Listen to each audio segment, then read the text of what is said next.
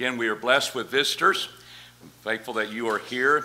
You've been doing a lot of things on a Sunday evening, especially those who've been at services on Sunday morning. You say, well, this is a holiday weekend, and I've already been at services, taken the Lord's Supper, and I think uh, we'll just enjoy the family this evening. But you brought your family, brought your children, brought your grandchildren. Thank you for being here. It means you have an interest in spiritual things. You've taken the time and set aside this time that we're going to concentrate upon spiritual things, the, the Word of God. And I trust that you will benefit from being here and participating uh, by listening and applying and thinking about the Word of God along with me. On Sunday evenings, we have been dealing with the fruit of the Spirit, those nine characteristics that a Christian needs to manifest. We've emphasized that the fruit is singular, but it involves nine facets.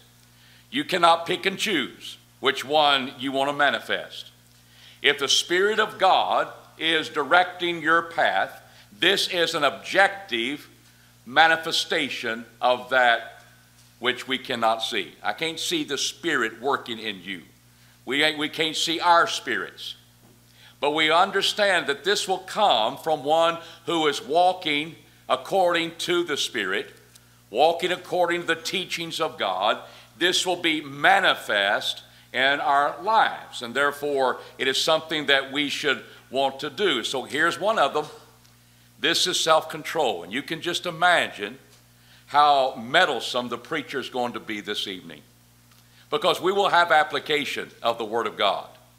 But if that is something that troubles you, that all of a sudden, when we apply this lesson, that it is meddlesome, it's getting personal, and you really feel uncomfortable, then maybe we really need to deal with this because why meekness wasn't like that? Why joy wasn't like that?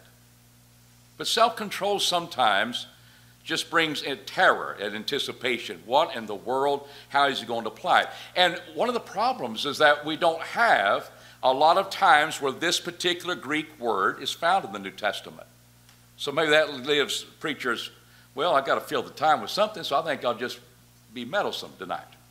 But we're going to make application where I think Bible makes it, and I hope it'll be helpful uh, to you.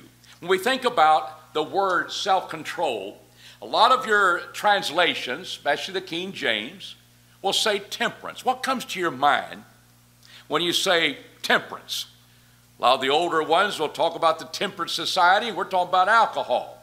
We're talking about drinking whiskey and beer and that sort of thing. That's what this thing's about, about this self control that you need to, uh, to not, you need to be a, a teetotaler, not, not to be involved in drinking this stuff. Temperance.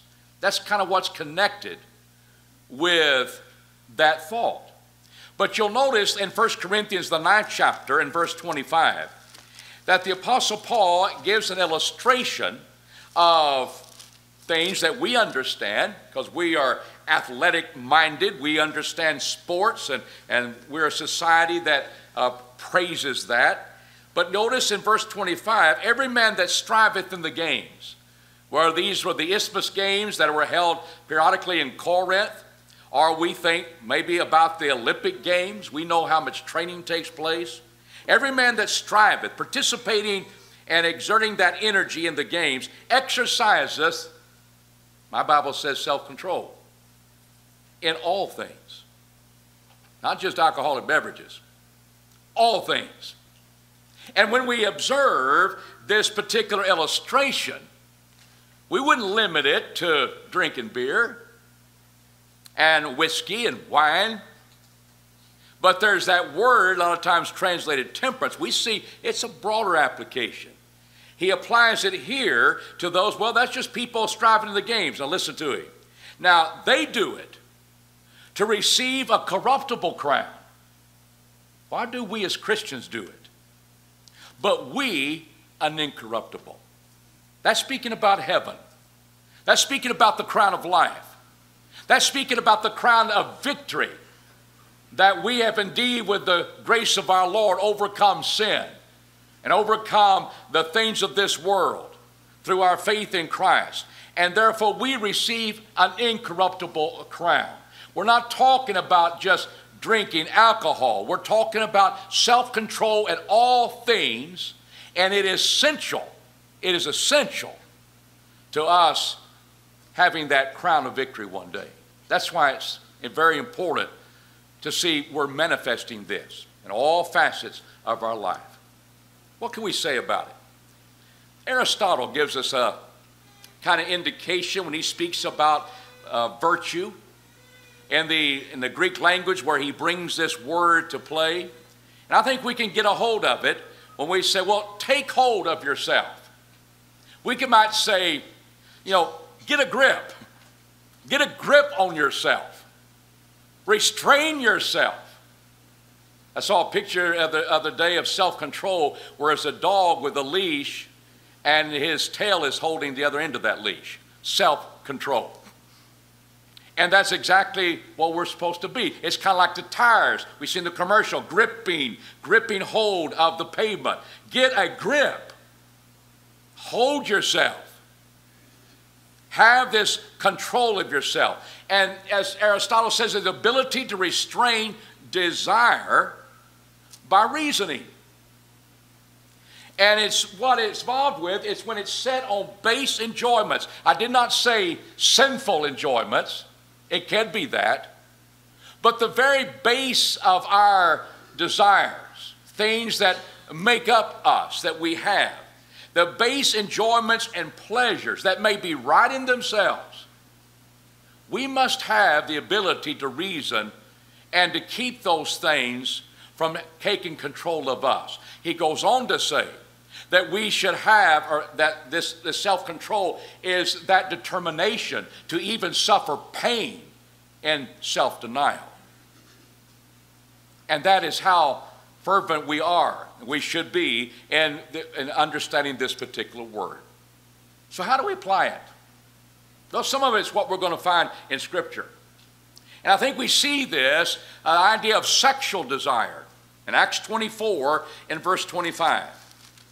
That we notice that here is a, a, a, a man, authority, and he has a wife by the name of Drusilla. And you said, What is the problem? They're married. What, what, what are you talking about? Sexual desire and, and out of control. Well, we'll find that in verse 25, the nature of Paul's sermon that day was this as he preached the faith of Jesus Christ, he reasoned of righteousness, that which is right, and self control, and the judgment to come. It's like he's got a three point sermon working. And when he speaks about uh, the, concerning the faith in Christ, what would your three point sermon be? Well, you might be righteousness, The gospel is the, is the, the source of learning what is right, and we come to that word of God. Would you pick self control? Say, no, that'll be later on down the road. When you're going to talk about the judgment to come, no, I want to talk about heaven. Maybe I would talk about righteousness and joy and heaven to come. But that's not what Felix and Drusilla needed to understand, because history tells us that they both have been married before and they left their mates to be married to one another. Now you know what a preacher does. He needs to preach what is needed. And here he had the audience of Felix, the governor, and Drusilla, his wife, and he preached what's right and self control. You desired Drusilla so much that you took her from another man. Drusilla that needs to learn the same thing, and the judgment to come. We're going to have to meet the Lord in judgment to give answer to what we've done. That was very essential to Felix's life. Now, sexual desire is something that we have in us as human beings. As we grow to a certain age, able to reproduce, we understand that. And should we look and just cut ourselves because we have those desires, just cut ourselves to pieces? No. That they're there, and that's why self control needs to uh, play a part in understanding this. And we see this in 1 Corinthians 7, verse 9. Let me paint the picture. The 1 Corinthians 7 is, is indeed showing that they had asked questions about the marriage relationship, especially a Christian has, uh, one has become a Christian but maybe was married before to a non Christian who hasn't become a Christian yet. What are we going to do about that relationship, Paul? And what about all of these, uh, these, these troubling circumstances of persecution and trial? What about the marriage relationship there? They had some questions. And Paul answered them. He said, concerning the, concerning the things he wrote, it's, it is good for a man not to touch a woman. Now, if we go off from that and say, well, you need to be single and it's not good to ever touch a woman, you'll, you'll misunderstand the point he's making. In these times of difficulties, it was better probably to remain single. But he says, but because of fornications, verse 2. Let each woman have her own husband and man his own wife, and his woman is her own husband. And let the husband render the wife her due, likewise also the wife and the husband. The wife hath not power over her own body, but the husband, and likewise also the husband hath not power over her own body, but the wife. There's the sexual relationship being told about. It's her due. It's the due that each, uh, each partner in that marriage has to one another. Their body to belong to themselves. There's that relationship being talked about.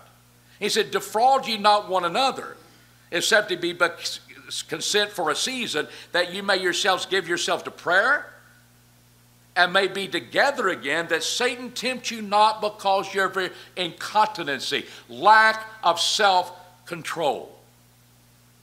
That you come back together again. Satan is going to take that natural desire that should be satisfied in the marriage relationship, and he's going to be tempting you with that. And if you lack self control, you'll give in to that sin. So he says in verse 9 if they have not continency, or this idea of self control, let them marry. For it's better to marry than to burn, which I believe to burn with passion. Now, who is he talking about there? Well, I've been divorced, it was for the wrong reason. And according to Matthew 19 9, the next relationship I have is adultery, if you call it marriage. And I'm, I'm, I'm applying this verse. I cannot live a celibate life. Paul says, if you have no continency, then marriage. Better to marry than to burn with passion. Notice the pronoun they. Verse 8, he's talking to those who are not married, not those who have been divorced and still bound to a mate, but they're non married are their widows. They have a right to the marriage relationship. But there's this idea that sometimes the sexual desire can be so strong. A lot of times in younger people, as they are dealing with those desires that are new to them, are people that have been married and divorced, and now they have a new mate out of that sexual desire that they had. And it is an area where self control needs to be there. We need to be able to say no to these desires. We need to be, I'm going to fulfill them in the right way. And God has said the right way is marriage relationship. It may seem so old fashioned for young people to hear, uh, understand that, well, I'm going to save myself for marriage. But that's a godly point of view. That's what God would have you to do. Save yourself for that time. That's how it can be satisfied. God has not said, all right, I put this desire in you, but, I, but there's no way you can satisfy it lawfully. We don't have a God like that. Let the marriage bed be undefiled. He's going to judge adulterers and fornicators. Let marriage be had in honor among all. Let the bed be undefiled. We keep it pure, the two people that have a right to one another. So, as we grow to adulthood, we are Christians and we're living the Christian life. We, we need to apply that self control with those desires that hit us. How many during the day, now speak to men and speak to boys, you're on the internet, you're, you're, you're dealing with email, nothing wrong with that. You're looking up a subject that may just be right in itself. And all of a sudden, here comes a picture of something you can click on. It may be pornography. That's happened. I'm not looking for that. What are you going to do about that at that moment? Are you curious? The picture may be attractive. It may be alluring. What do you do? You click on it? Self control says, no, I'm not going to click on that. I'm not going to go there. Because that's going to lead me into an area that is unlawful.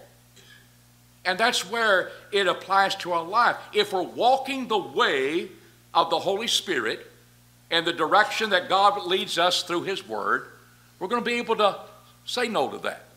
Get it off our screen. Avoid it. And you know, the more you do that, the stronger you are doing it the next time. And the next time you're stronger, stronger, where you, you build up this, this resistance. And he said, I'm going to I'm going to keep control of that. I'm going to fulfill it lawfully in marriage. I'm going to wait for that relationship that becomes, that's where I'm going to do it. Until then, I'm going to have self control over that because that is a very strong passion. What about food and drink? Bible speak about that?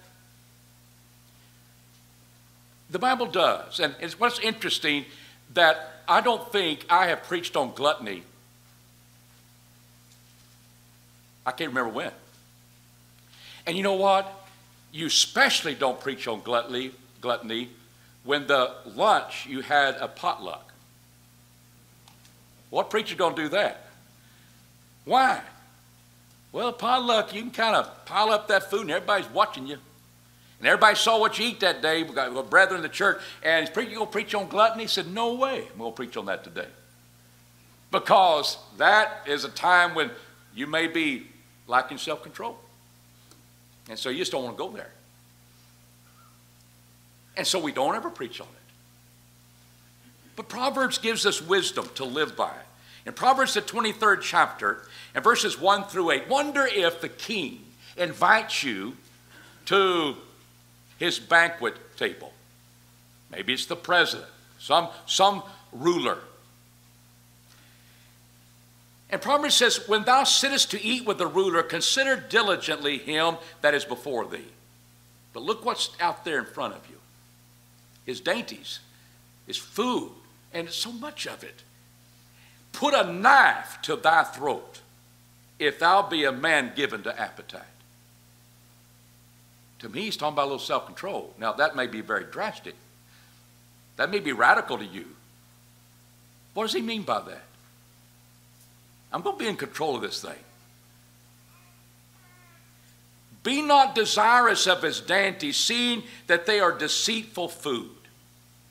What is he talking about there? A lot of times in banqueting, especially with kings with an abundance, they would just go overboard. They would have days and days and days of eating flesh and just, uh, just eating and gorging themselves. He said that, that's, not, that's not the life of a wise man. Weary not thyself to be rich, cease from thine own wisdom. Wilt thou set thine eyes upon that which is not? For riches certainly make themselves wings like an eagle that flieth toward heaven. All of a sudden, he quit talking about food, now he's talking about riches. And then he comes back to it. Eat not thou the bread of him that hath an evil eye, neither desire thou his dainties. For as he thinketh within himself, so is he. Eat and drink, saith he to thee, but his heart is not with thee. The morsel which thou hast eaten shalt thou vomit up and lose thy sweet words. I think he's speaking about something else here now. And it's the idea that here, look what you enjoyed at my table. Now I want you to say this. You are obligated to the king. And because of your appetite, because of your lack of self control, we can be putting ourselves in that position where these things that are, are riches and that sort of thing that we can obtain, wonder if the king, his heart's not really with you, but he wants something from you. And he offers you all the food, he offers you his riches to maybe lie about this or condemn that person. You end up having to vomit up your words because you did not control your appetite. Now, those are the things we can get involved with. People can offer us things that we desire. And food is indeed one of them. We have to have food in order to, to live. And a lot of times when people, you know, what kind of food? Well, I, I, I just say, well, food is fuel. That's an easy way out, isn't it? Just have a, I have a lot of fuel. But it might not be the right kind of fuel. And we have to kind of govern that. We have to understand it. But this idea that this is something we have to have, we have to be able to drink, have water. But we must be able to have self control to apply those things in certain situations. Look at verse 20 and 21 of Proverbs 23. Be not among the wine bibbers. I want you to notice the excess that is taking place here with those who are, are becoming drunk. They're staying long at the wine. Be not among wine bibbers, among gluttonous eaters of flesh. For the drunkard and the glutton shall come to poverty, and drowsiness will clothe a man with rags. I think you can see that banqueting is that idea here. They're just days and days, and they're drinking and they're and they're staying long at the wine. They're eating flesh and, and they're doing they're, they're sleeping and they're not being prudent with their time or their energies of being productive. And that's where that sort of thing leads to when we're out of control of our appetite. And I think we have to be involved with that, especially at our time. I was thinking the other day, I, I, I, I come down Fairmont a lot. I was thinking the other day, I could start eating at 5 o'clock on Fairmont and go 24 hours and just eat. Drove drive-throughs and I could just get all the food at different times. And there'll be times when I can start over with breakfast about 11.30 at night if I wanted to. Open all night, abundance of food, it's cheap. And, and you can just eat, literally, 24 hours. I know a lot of you say, well, well I, I'm trying to eat six times a day, and that's good. Eat the right things. But I need 24 hours a day. It's available. And we have to kind of put a knife to our throat. That may look good, but we can get in bad habits and we can just say, well, I just go through the drive through. No one has to know. Well, sometimes people, they have problems with food. And we cannot allow ourselves to get to that point. And we must say, I will have self control. I must be willing with reason to say, I'll turn that down. And you know what? If that is a problem that you're having, just try it on one time. Something that you're tempted to have, you just say no. And this is far cry from fasting. And yet we see in the Bible that when people were getting in control of themselves, and having control of their desires. A lot of times it was fasting and prayer. And maybe that's an area, so well, I need to maybe work on that one day and, and try that. Getting in control of our desires is something very much biblical. And we must be in control of our food and our drink. And we see the latter part of Proverbs 23 where such things lead to. They lead to tarrying long at the wine and all the bad things that come from it. And what is God's remedy? Don't look at it when it's sparkling in the cup. Don't have anything to do with it. And that's what we ought to do with alcohol. That's God's remedy for not getting to this point of staying long at the wine. And as Paul says to Timothy, there's medicinal purposes that we could uh, see. But, but the idea of, of, of, satisfying our appetite, if you're giving yourself to appetite, You've got to be in control of that. Now, look how Paul deals with this in bringing these things together in, in 1 Corinthians, the sixth chapter. That he says, All things are lawful for me, but not all things are expedient. All things are lawful for me, but I will not be brought under the power of any. Meats for the belly, and belly for the meats. But God shall bring to naught both it and them. There's our food. Goes into our belly, out the draw. I understand that's what, it, that's what it's all about. But he's also said, I will not be brought under the power of any. But the body is not for fornication. All of a sudden, we see the sexual desire being talked about. But it's for the Lord, and the Lord for the body. And therefore, we see verse 18, we're to flee fornication. And we realize in verse 19, know ye not that your body is a temple of the Holy Spirit which is in you, which you have from God. You're not your own. You are bought with a price. Glorify God, therefore, in your body. He didn't say, keep yourself from sex, keep yourself from fornication. I'm not going to be brought under the power of that. They're equating, I have to eat, and I therefore I can commit fornication. It's a natural desire, just like meat, eating meat. But he says both of them. I will not be brought under the power of any. Why? Because we've got self control. We're able to restrain ourselves, use it in the proper manner. And we have to manifest that if we're following Christ. Thirdly, dealing with another passion that has to be in control. And that's something that can be used in a very constructive way of someone caring, someone that's willing to stand up for truth in the face of error.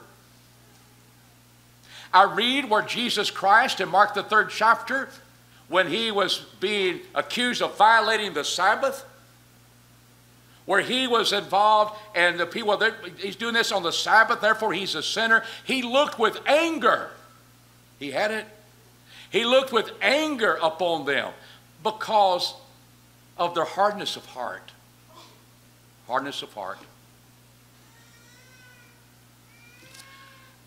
It's hard for me to imagine Jesus Christ not being angry, not manifesting that physically, when he took a scourge of ropes and he drove out the money changers, turned over the tables, drove out the, the, the the animals and the money changers, it's hard for me to picture him not being angry and not maybe showing that.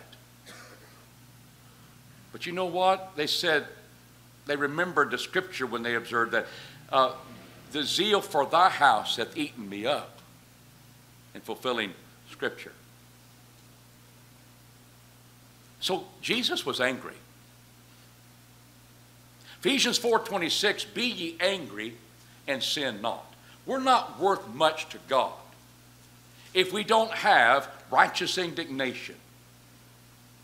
If we don't do but it is righteous indignation. We can be angry and sin not. But he said, don't let the sun go down on your wrath. There are two words that we see in this area of this type of passion is anger and wrath. And both of them will send your soul to hell. You can do everything else right, but you will not inherit the kingdom of God with these. And let's, let's notice in Ephesians, while we're there in Ephesians 4.31, where he speaks about both of them. And we have to put them away. Let all bitterness and wrath and anger so wrath and anger and clamor and railing be put away from you with all malice. Galatians 5 and verse 20 highlights one of them when he says, Idolatry, sorcery, enmity, strife, jealousies, wraths, factions, divisions, parties. And it says, and such like, in which I forewarn you, as I did forewarn you, that they who practice such things shall not inherit the kingdom of God. Inheritance of heaven is what he's talking about. And there's the wrath. Colossians 3 and verse 8 speaks about what the Christian has to put to death in their life. And in verse, verse 8 says, But now do you also put them all away anger, wrath malice, railing, so forth. Shameful speaking out of your mouth. Oh, we're not going to curse. We're not going to take the Lord's name in vain. Not that nasty talk and that filthy mouth you got. That's not, that's, you can't have that as a Christian. But you can have wrath and anger. I'll be angry and sin not. What are these? What's the difference between wrath and anger? The two Greek words are distinguishable. When we speak in Galatians 5:20 of the wrath, we are speaking of one who blows up. Thumos is its word. Just blows up. Loses his or her temper. And orge, the other Greek word, it is more settling. It may last longer, but it may be finding its outlet a little bit later in revenge, just kind of cold and calculating, but that anger is still there, and I will get even. That's why don't let the sun go down in your wrath. Don't allow it to keep festering and festering and festering. But he said, don't blow up either. Both of those are things that the Christian has to put to death. It didn't say, well, I'm going to tolerate it. It, it didn't say, well, you can do it sometime, and most of the time I'm okay. I told the class Wednesday night because we're studying the fruit of the Spirit, mean, the, work, of the works of the flesh, rather. And one of those is dealing with wrath. And I remember having a boss. He was, a lot of ways, a great boss. I don't know if it's because of, you know, that's what abusive relationships are like. Maybe I was just young and being abused and, and, and didn't know what to do with it. But a lot of ways, he was, he was a good manager. Bottom line, and he's able to get things done. That, maybe I admired that part. But he was a boss who blew his top often. And I said to the class, we didn't have cell phones then. We had big bell telephones. And he'd throw it into the wall of our new, new offices. And I was in there with him, and I understood what made him mad. He threw it against the side of the wall. And then, within just a few moments, everything was supposed to be okay. He's through with it. He got it off his chest and everything's all right. No, it wasn't. The secretary would come to my office a lot just crying. I try to say, it's just the way he is. He does the personal, you know, all the things that abusive husbands say. It's not your fault, you know. And then trying to find an area where, you know, it's, it's really not about them. It's about him. And he might think, well, I got, I'm through with it, now it's okay, and he just blew up like that. That's not a Christian. That's a man of the Word. That's not one that's striving to walk by the Spirit. He's sure not manifesting self control. He said, well, how does one deal with that? I gave you examples of Jesus. Let me give you a contrasting one, and maybe you can we can kind of have something constructive because you may be having trouble with losing your temper. You may get in road rage and do all sorts of horrible things because traffic problems and people getting your spot in the parking lots and you just say, let's go to town over, buddy. You got my, you got my place. And women and men all have these issues. I don't care what the issue is, out of self, out of control, is something we have to work on. But let's, let's notice what made the people mad at Jesus. On this occasion, he spoke about the three and a half years of famine in the days of Elijah the prophet. And what he said, he said, there were many widows in Israel during that time, but God sent Elijah to be taken care of by a woman that was not of Israel to Zarephath in the land of Sidon unto a woman that was a widow. That's a fact. That's not Jesus kind of twisty thing. That's a fact. And there were many widows. Why did he do that? There were many lepers in Israel in the time of Elisha the prophet, and none of them was cleansed, but only Naaman the Syrian, got in the army of a foreign nation. There were many lepers, but we only healed one through God's power. That's a fact. And they were filled with wrath in the synagogue when they heard these things. They rose up, they're moving him toward a precipice where he's going to go over the cliff. And he goes safely out of their midst. What is happening there? It's pride. We are the people of God. We have a special place in the heart of God. And therefore, we're special with God when all men needed to repent. And he brings out these two facts. God, God sees people in other nations. And you're going to have to bring fruit worthy of repentance. And all those things Jesus are trying to uh, teach them, but they're full of wrath because you hit at their pride and they blow up. This is not the way it's supposed to be. This is my world. This is how it's supposed to be in my world. And when that's ever disrupted, wrath hits, thumos hits, and we blow up. Then we get off our chest, well, I set them straight and we're back at it again. Maybe we got a problem with selfish pride and thinks the world ought to rotate around us and we get our way all the time because we're special. And you're not. Nobody's special. We, we got to consider others better than ourselves, Paul says. But look at Jesus. What did he do? The zeal for thy house, God, righteous indignation. They were making God's house a house of prayer. It's made a den of robbers. It wasn't about Jesus and his selfish pride and the way it, it, it would be to please him. He was seated in the eyes of a righteous God. There's that righteous indignation. And therefore, he can still have control of his passion and use it in a constructive and vivid way. Throwing a phone across the, the room, blowing up, cutting someone down verbally, saying something about a person that's unflattering because you just got to get it off your chest. That's not constructive. That's sinful. But Jesus was angry.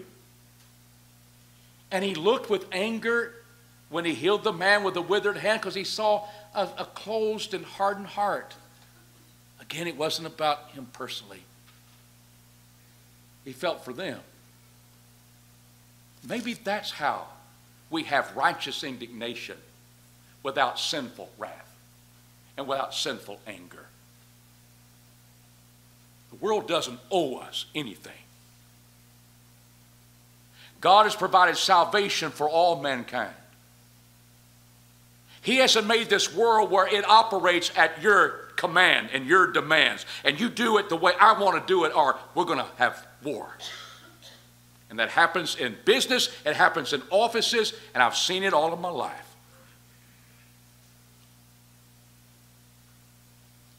But I should never see it in the life of a Christian. Because walking by the Spirit says we have self control. My final point then, what should I be busy in? Why not growing in self control? Did you know that's what we're supposed to do? Look at 2 Peter 1 6 through 8, where the Apostle Peter speaks about these virtues. And we say, well, these are good. He says, in your knowledge, self control, the more we learn about God, the more we learn about the world around us, the more we learn about things, that we need to manifest, according to that knowledge, we need to manifest self control. And in your self control, patience.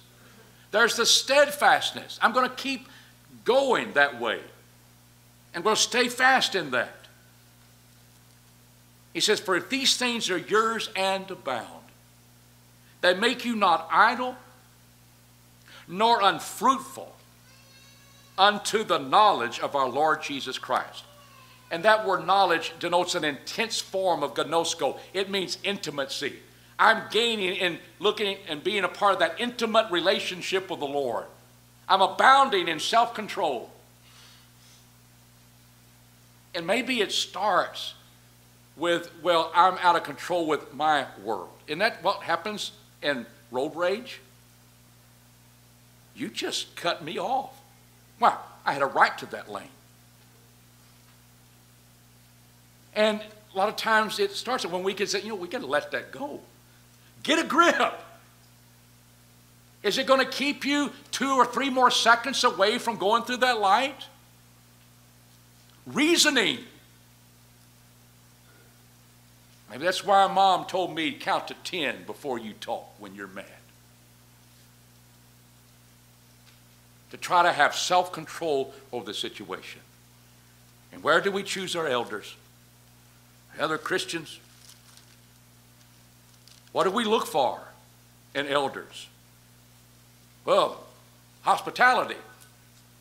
Yeah. They hold to the faithful word.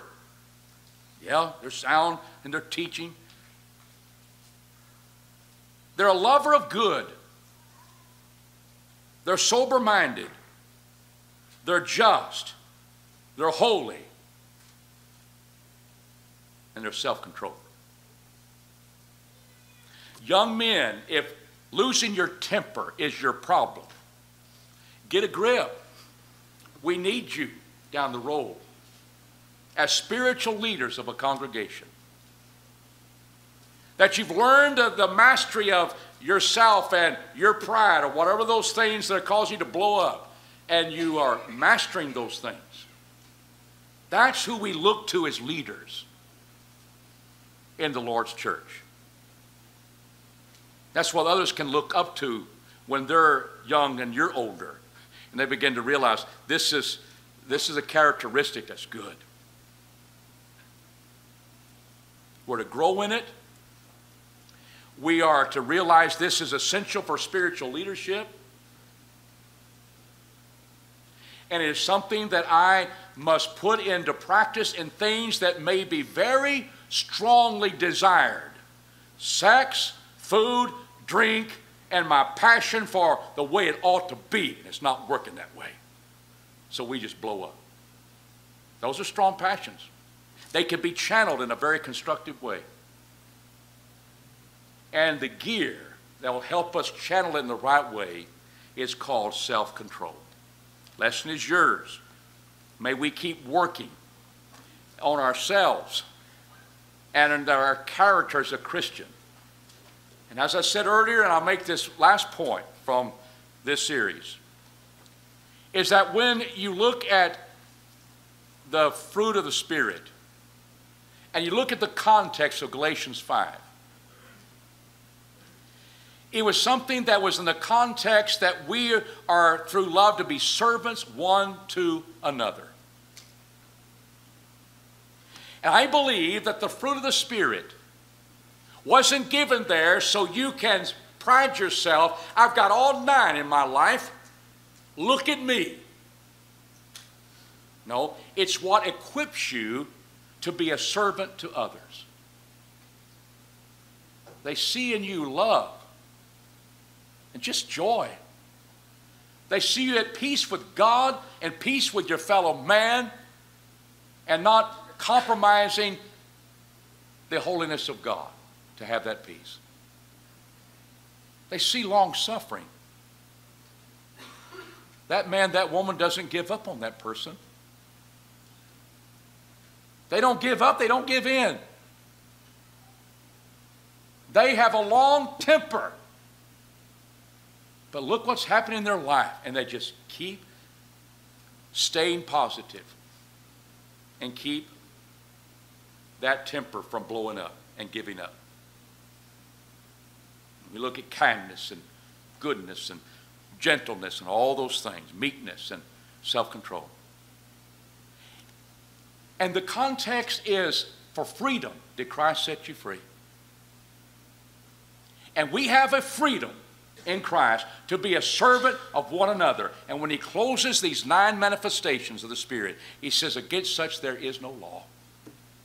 You are free in Christ to manifest every one of these things. And when you do, you will be equipped to be a great servant of others. They'll want to be around you. They will want to look up to you. They want to follow your lead. They want to follow your example. And I can't think of a better life to live than to be walking according to Spirit, using my freedom not for selfishness, but to serve others. And focusing in on every one of those nine. So every one of those nine are going to be in my life so I can be a servant to others. I think we'll have the right attitude when we master them, and we have to keep mastering them. And we will be the right type of servant. And I tell you, when you have a congregation filled with those manifesting the fruit of the Spirit, you've got a strong church. And I hope that's what we'll have tonight. If you have sinned, maybe a public nature, and you just realize, well, I need to work on these things. You're among friends, you're among family. When I confess that fault, I'm going to work on it. This may be the way I am today, but it's not the way I ought to be. And God, help me. Help me to be the type of Christian I need to be. And we're here to assist you and encourage you. But if something that's you realize is a miss in your life and it's private, take care of it privately. But take care of it today so you will not lose your soul because any of these, fornication, idea of gluttony, idea of anger and wrath, whatever type of wrath and anger you have, blowing up or just vengeful, getting even, will keep your soul out of heaven. We don't want that. So make things right with the Lord as we stand and sing. Please come.